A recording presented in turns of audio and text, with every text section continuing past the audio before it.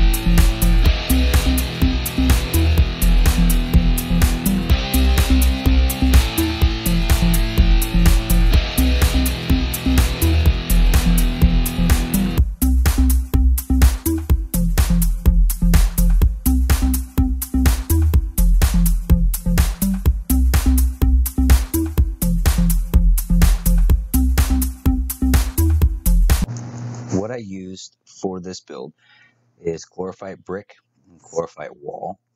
I also used green team platform for the stairs.